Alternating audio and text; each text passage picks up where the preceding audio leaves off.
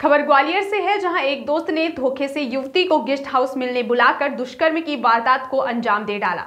जब उसने विरोध किया तो उसे शादी का सपना दिखाकर 10 साल तक उसका शारीरिक शोषण करता रहा। इस बीच युवती गर्भवती हो गई। आरोपी ने अपनी महिला मित्र के साथ मिलकर उसका गर्भपात करा दिया। वारदात छप्पर वाला पुल की है। जब पीड़िता ने शादी का दबाव बनाया तो आरोपी ने शादी से साफ़ इनकार कर दिया। शोषण की शिकार युवती थाने पहुँची और मामले की शिकायत की है।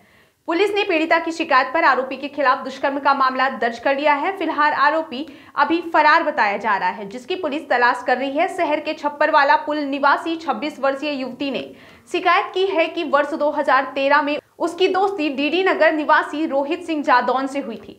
दोस्ती होने के बाद आरोपी ने उसे मिलने के लिए एक गेस्ट हाउस में बुलाया और धमकाकर उसके साथ दुष्कर्म की वारदात को अंजाम दिया। वारदात के बाद आरोपी ने उससे शादी का वादा किया और उसका शोषण करने लगा।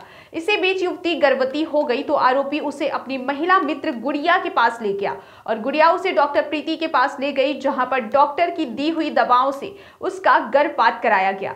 अब जब पीड़िता ने शादी का दबाव बनाया तो आरोपी अपने वादे से मुकर गया। तो पीड़िता थाने पहुँची और शिकायत की है, जिस पर पुलिस ने मामला दर्ज कर लिया है। इंदरगंज सर्कल के सीएसपी विजय भदौरिया का कहना है कि थाने पर आकर एक पीड़िता ने शिकायत कर बताया था कि उसके एक परिचित दोस्त ने उसे होटल मिलने बुलाया और उसके साथ दुष्कर्म किया। उसने जब विरोध किया तो उसे शादी का वादा कर चुप करा दिया। इसी बीच जब वह गर्भवती हो गई तो उसका गर्भपात भी करवा दिया। पुलिस ने मामला दर्ज कर लिया है और दावा है कि आरोपी को जल्द ही पकड़ लिया जाएगा। छप्पर वाला पुल में रहने वाली एक महिला के द्वारा एक थाना इंदरगंज में कल आके लिखित रिपोर्ट कराई गई कि उसका एक परिचय पिछले आठ दस साल से युवक से था। युवक ने उसको शादी के झांसा देकर निरंतर उसका शारीरिक शोषण किया है, उसका गर्भपात कराया और उसको जातिगत गालियाँ दी हैं। इस पर से व्यथित होकर महिला के द्वारा रिपोर्ट लिखाई गई। आरोपी अभी फरार है।